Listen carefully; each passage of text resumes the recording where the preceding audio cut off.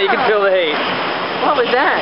So that's them keeping the evil spirits of the north away. Oh, so that's So, the one. We like to joke at Sydney, but we joke. Yeah. but yeah, that's part of the uh, Feng Shui Oh, tradition. wow. And there are eight guardians. Eight What's fire, the story? Eight, eight, eight of them, and that's the fire guardians that keep the evil oh. spirits away.